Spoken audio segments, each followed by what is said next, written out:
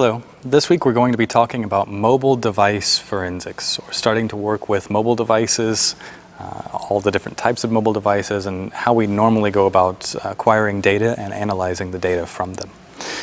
Um, so first off, the biggest thing to think about with, with mobile devices is that there's no single standardized method for accessing all mobile device, um, uh, mobile device data. So think about all of the different types of, of phones or tablets um, or anything we consider a mobile device now, even smartwatches and things like that. They don't all have the same, necessarily the same interface, they don't have the same software, so trying to make a general approach to uh, acquiring data from mobile devices is very difficult. Um, with computer systems, we basically have um, PCs and Macs, more or less. Um, with, with mobile devices or even these kind of smart devices now, we have a lot of different architectures that we're dealing with, um, and that makes it very difficult to, uh, first off, acquire data and also analyze uh, the data structures because there's many different types. Um, luckily, within the last few years, we have somewhat standardized at least um, smartphones and the way that smartphones are accessed. So we essentially have um, a few different types, but they're very, very common. Like most people have uh, more or less three or four, um, one of the th big four types of devices that we can access. Um, so we pretty much know what we're going to find whenever we get, a, a, for example, a mobile phone. Um, so there are a lot of tools now that can access the more common types of phones. However, there are some, uh, for example, Chinese brands that completely change the way that they do wiring or they completely change software. Or, uh, we run into problems with those sometimes. So uh, just be aware whenever it comes to mobile. Um, I will talk about basically the most general approaches to acquiring data, but the, technically the way that we get that data will be very different depending on what type of device uh, you're looking at. Um, yeah, and it also depends on the, the software and the tools that you have available. Um, I'll be going over some of the free software that we use, and I'll be also covering mostly Android devices just because, um, at least in Korea, they're the most common, um, and they're in some ways easier to work with than, than other types. Um, with mobile devices, there are some companies that have software that can do quite a bit of uh, automated analysis of mobile device data, but in my experience, most of the time you're going to have a lot of manual, um, manual analysis with mobile device data. Um, the process of acquiring data um, is starting to get a little bit easier, but the process of analyzing that data um, is still pretty manual. However, you can write your own tools um, uh, we'll talk maybe a little bit about writing your own tools for examination. Um, that being said, there's no single tool that will cover all mobile devices and all situations. So all of the tools that are out there, there are some very good tools that are very comprehensive in both acquisition and a little bit of analysis, but they won't cover everything. So especially if you're dealing with law enforcement, you're going to get a lot of different types of devices in, and sometimes your tools just won't work. Um, some devices will be too old so your tools can't support them. Some devices will be too new, so your tools can't support them. Um, some devices maybe the manufacturer just never saw before, so they don't have a way to acquire that data. So when dealing with mobile devices, it, the investigator has to know a lot more than just one simple tool. They have to know how to access this data um, manually, essentially. Um, so for forensic preservation, we always start just like with computers. We want to preserve the data on the suspect or victim's device. Um, in this case, it just happens to be a, a mobile device, uh, most likely a phone. Um, in Korea, it's most likely a smartphone, not just a phone, but probably a smartphone, and also could be uh, things like the smartwatches, like I said. Um, they also potentially have some information on them that could be relevant. So um, the, the easiest way, just like with computers, the easiest way to preserve information about the device is just manual examination. So um, the examine, examiner manually accesses the phone through the user interface. So you have a, a cell phone, for example, and you want to know who are in the contacts list. So you unlock the phone if you can, and then go to the contacts list and scroll down and basically take pictures from there. This is the least forensically sound because you are modifying data on the phone. You are accessing the phone directly. Um, but sometimes that's the only way we can get access to data. So this kind of manual operation of the user interface um, can produce valid results, but uh, your documentation has to be very good and you have to justify why are you interacting with the phone directly. Um, so it's potentially the easiest, but also the least forensically sound. Uh, to ensure that all details are documented and the chain of custody is preserved, this process is normally photographed or videotaped. So there are some devices, for example, like a video camera that essentially hangs over the phone and you can access the phone directly so it records everything that's going on. Um, that seems to be one of the most common ways if we have to do a manual analysis of the phone using the interface. Uh, only data available through the operating system is retrievable. So the big uh, if we're, if we're looking only for user information, this might be an acceptable way uh, to get access to it because we can potentially access like chats, KakaoTalk, um, I don't know, Facebook, Instagram, all of those things using the user interface, just like the suspect or just like the victim would. Um, however, there's a lot of information that we will not be able to recover um, that is limited essentially to the operating system only. So we're going to be missing a lot of information. We're just looking for basic account information, it's, it's okay. If we're looking for contacts or who, who called the phone, uh, who was this phone used to call, things like that, um, then this method might be, uh, might be a way to go.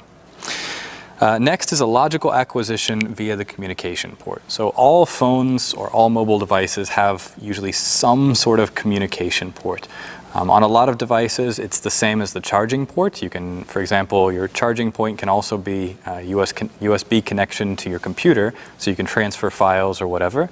Um, it could also be, uh, for example, a wireless connection. So Wi-Fi, Bluetooth, all of these connections are on a lot of devices these days. Um, so you might be able to get access uh, to the device from, from one of these interfaces and um, basically do a logical acquisition or an acquisition of the partition information on the disk. Uh, we normally go through the USB port uh, on, on newer phones, whatever the connection port is, we connect it via USB and we can normally get access to most data on the system, but not all. Um, so logical acquisition methods interact with the mobile devices using protocols such as AT commands and OBEX or object exchange commands. Mostly we're using AT commands to um, talk to the low-level hardware of the phone and try to get that low-level hardware to give us raw data. Um, there are tools that automatically do this. Again, it depends on the operating system we're using, but I'll, I'll give you instructions on how to do that with your own phone if you want to try. Um, but AT commands are basically very, very low-level computer commands that we can give uh, most devices. And this only extracts data that is available, again, through the operating system. So we're not getting any special access whenever we do this. The operating system itself is still restricting us um, or the, the, way, yeah, the operating system itself is still restricting us from getting access to all of the data. We can only get access mostly to user accessible areas. Um, Right.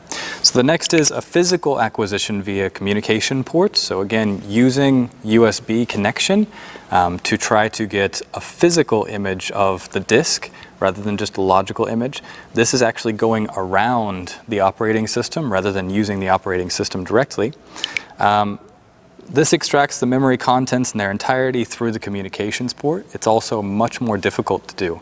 So out of the three that I've talked about so far, this is much harder um, than the other methods. The other methods can get us a lot of user data, um, but maybe the court uh, doesn't accept it for some reason. They want a full disk image. The full disk image is possible, but also much more difficult to get. Uh, interpreting the extracted binary is dependent on understanding how the phone stores data in memory structures. So again, we're looking, or we're, we're getting raw data from the phone, and we have to understand how to parse out those data structures. So not only is the acquisition more difficult, but the actual analysis of the data becomes much more difficult as well. Um, if it's a popular type of phone or a popular operating system, there are tools to help you. But if it's a new phone or a new operating system or just a new data structure that nobody knows about, you'll have to do it yourself. So it becomes uh, very tricky to analyze mobile data if it's a physical acquisition. Uh, next is physical acquisition using JTAG. This is quite a popular method for uh, really advanced mobile device forensics. I'll give links to JTAG and what JTAG is, how it works um, on the, the forum. Uh, uses a JTAG interface, which is just kind of a, a, hardware interface to extract memory contents of the device. So we connect via JTAG and then we can read out all of memory from essentially a hardware port. Uh, using JTAG usually requires us to take apart the phone, and on most phones, that completely destroys them. You can't put them back together. So we only use this in extreme circumstances, like uh, terrorism cases or something that's um, something where we can justify the fact that we don't want only a logical acquisition, and we probably destroy the phone. Like, um, so in those cases, we might use JTAG um, if it's absolutely necessary. Uh, it allows the extraction of full binaries. So the, the whole point behind this is that we can extract all of the data. We still have to know what those data structures are, but at least we can get the data and then analyze it later. Uh, acquiring digital evidence via the JTAG is less intrusive than relying on the, the device operating system. We're not going through the operating system in this case, uh, but interrupting, uh, interpreting the extracted binary requires a lot of in-depth knowledge. So mobile device analysts who are expert at it uh, might want to do this method, but we're nowhere near there. I'll give you um, uh, information on what JTAG is, but uh, we obviously can't practice it in this class. Unless you want to tear your phone apart, then you can try. Uh, physical acquisition via direct memory chip access. So another method we can use is accessing uh, the memory in the phone directly. Um, we again have to take apart the phone if, if the phone uh, isn't designed to be taken apart. We probably destroy it and can't put it back together, but we can get access to the memory chips directly and then just read data directly off of them. Uh, it's the most low-level and potentially complex acquisition method. It has the same problems as all of the other methods in the fact that we get direct uh, raw data and we have to do all of the interpretation for that raw data. Nothing is interpreted for us. Uh, we can provide access to all device content, but requires knowledge of interpreting the raw data structures. And this technique should not be used for cases when the original device must remain operable. Um, Korea, for certain types of phones, are very good at this technique. They have really good experts um, that can do this and then put the phones back together. But in most cases, the phone is going to be completely destroyed. Um, which is another problem because if you destroy the device, that means that, uh, first off, you might lose some data, but it also means that nobody else can verify the data that was on the device. If the device is gone, no third party can come in and audit you, um, which raises huge concerns in cases. Uh, so it's advisable, but maybe not practical to acquire data from uh, multi using multiple methods. So for example, um, collecting data using uh, a logical acquisition is relatively easy. We can get quite a bit of information out, um, but not all information. If once we have that information out, we already have it in our, in our, our custody, let's say, um, then we might want to go to a low, lower level acquisition method that may lose data or may destroy the device because at least we have a backup copy and we can say, okay, the user data is here and it's valid. Um, so really the question is, how do we connect to these devices? How can we connect and how can we get information from the device? Um, the easiest way is basically connecting via USB. Uh, for a lot of different types of phones, we can install a piece of software on the phone and that software will get access to um, quite a bit, but not all of the data, and then send that data to us. Um, that's a very, very easy way to do it. Um, and if we're using free tools, that's probably what we're actually going to do this week is that method just because it's the easiest. Um, there are some forensic tools that exist that uh, either automate that process or they're able to get lower level access and I'll give you links to those and we'll talk a little bit about them. However, those tools tend to be quite, uh, quite expensive. Uh, wireless access and Bluetooth, in some cases we can get access to data over the network. Um, depending on what our case is, we might just be able to leave the phone on and connecting over the network and monitor the network connection to get access to data that way. Um, however, in most cases, like uh, if we're monitoring an app, for example, it's probably going to send all data encrypted from the phone, so we won't get access to much, but it might be possible. We might also be able to attack the phone from the network um, and get remote access to it or uh, load a, a, program in and copy data out. Um, there's a lot of different approaches we can use. Just think about what are all of the ways that I can connect to the phone and potentially install and extract data. Um, and we'll talk about the most common ways uh, this week. Um, so extracting data, we're normally using AT commands, like I said, very, very low level commands. Um, we use developer tools. Uh, so for, uh, you just, as an investigator of mobile devices, you have to get used to um, understanding what developer tools do, how they work, where you can download them, um, because those developer tools have low level access to most data on, on many different types of devices.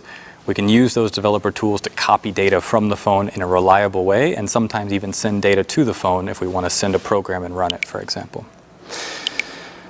Um, physical memory acquisition. On mobile devices, it's more complete um, and it includes deleted items. Uh, it works uh, with damaged devices, so sometimes, um, for example, we've had cases where suspects um, had a phone, the police came and they immediately threw the phone down and stomped on the phone. It completely broke the glass and the display didn't work, but the phone still works, or in some cases, most cases, the phone will still work and we can get access to the data from that device even if we can't necessarily see it. Um, uh, it also makes fewer alterations to data. It's not easy, and it does uh, doesn't provide the logical structure of file systems. So again, the lower level you go, you do not get this structure of the file system. You can't just pull files directly out. You have to actually parse the data.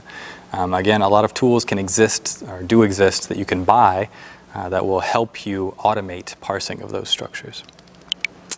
Okay, and then I have some examples of uh, some tools connecting different types of phones to tools. Uh, these tools are, again, quite expensive, but also very useful in most cases. Um, if you join law enforcement, if you join a, a company doing investigations, um, they will definitely have at least a few kits around for different types of phones. Um, so I gave you some examples of those. Um, and then we're just thinking about what, what exactly is the point of the analysis, or of uh, acquiring and analyzing the phone. So we have to go through quite a bit of trouble to get data from a phone.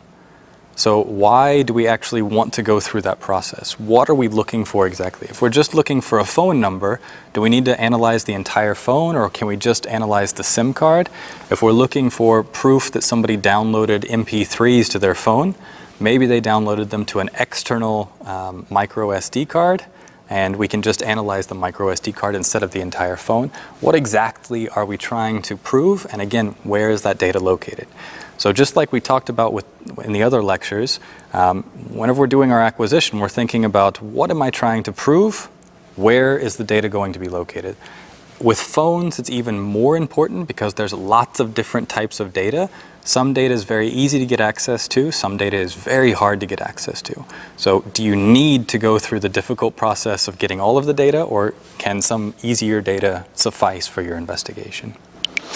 Uh, general investigation approach is first off survey uh, any available items you have.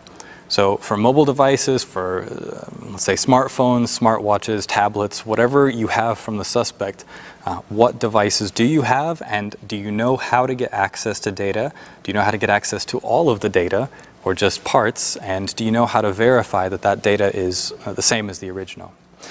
Uh, what are the main sources of information on the mobile device? So again, for mobile, you might be mostly interested in like Kakao Talk chats or, or something like that. Uh, MMS, um, just communication between people.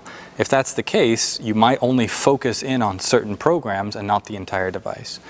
Uh, we want to recover any deleted items. So just like computers, we can recover deleted items um, deleted information from the phone. I mean, it still has an operating system, and, and, on the disk at least, it still has a file system just like a computer. Um, the file system is a little bit different, but it still has a file system, uh, which means that in some cases we can recover, for example, deleted items. Um, so I think there was a case uh, with, what was the program? I think it was Snapchat, which uh, said that it, uh, whenever you send information and you delete a file, then that file is completely gone, and we found out we could actually recover uh, images that were sent that way. So a lot of these programs make claims that they are completely secure, they're, they're deleting all the information. They might be deleting the information, but um, just because of the way that file systems work, just because the way that data is stored, uh, we might still be able to get access to some or even all of the information that they claim was deleted. Uh, then we harvest metadata from the active, uh, active recovered items. Um, so what kinds of uh, metadata or what kinds of timelines can we create? So with metadata, we're mostly interested in timestamps um, and creating timelines. Um, uh, we're mostly interested in metadata and creating timelines of events. When were these pictures downloaded? When were these pictures taken? Um, and uh, what kinds of timelines on the phone can we actually reconstruct from that? So metadata is a very important component of mobile analysis. Uh, and then finally, conducting a search and inspection of, for evidence, basically looking through all the data, looking for keywords, looking for uh, basically anything that we think might be related uh, to our investigation, much like uh, we did with computer systems. So the analysis, the acquisition on mobile devices is going to be a little bit different, but the analysis is going to be quite uh, similar to um, desktop computer systems. So that's it for this week. Uh, we will actually go through acquiring and doing a little bit of analysis of a mobile device. Um, so that's the homework for this week. Thank you. Thank you.